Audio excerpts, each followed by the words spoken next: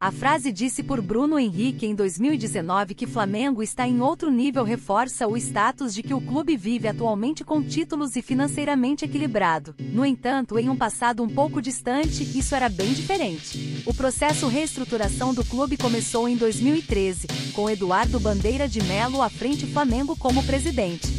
Desde então, redução da dívida, salários em dias e contratação que colocam o preto vermelho no caminho dos títulos. Mas o primeiro dia da nova fase foi dolorosa e deixou o então presidente da época envergonhado.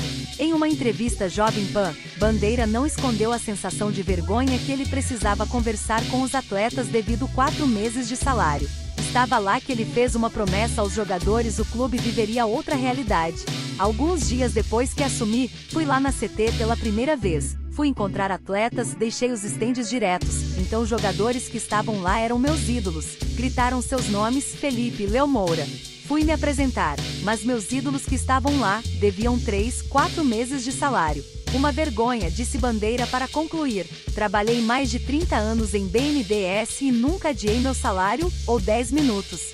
Toda vez que o salário pago por Flamengo era novidade. Eu disse que deixaria de ser novidade, o Flamengo pagará certo. No primeiro ano do período estávamos atualizados. Pagamos tudo. Foi um estrangulamento, disse ele.